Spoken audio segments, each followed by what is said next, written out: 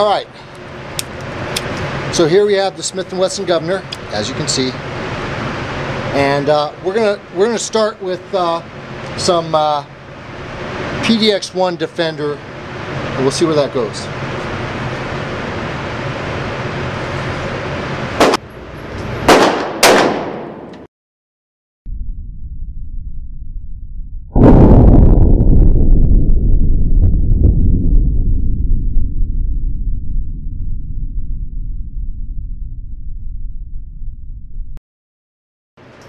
the Winchester round.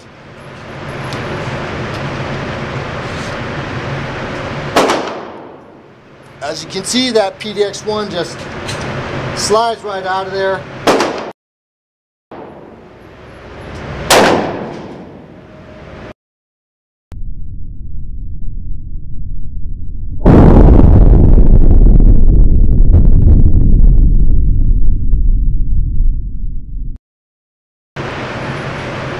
Last but not least, the Hornady Critical Defense.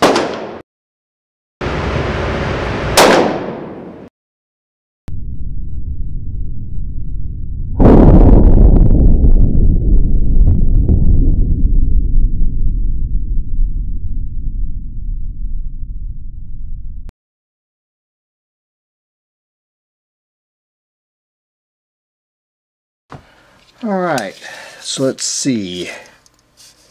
It would appear the shortest BB penetrate about three inches. Get around here. Whoop.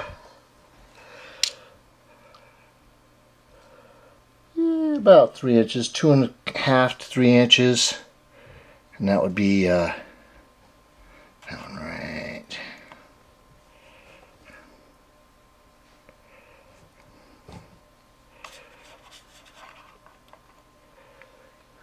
Let's see.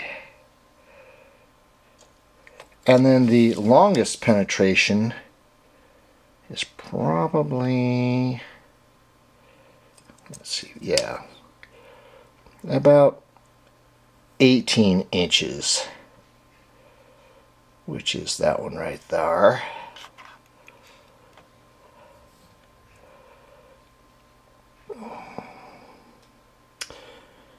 Your angle is a little bit different so it looks like it's less. And then that top gouge piece of chunk of metal is what? About 17 total maybe 16 and three quarters. So that's uh this is a pretty health, healthy uh the governor's rounds pretty pretty darn healthy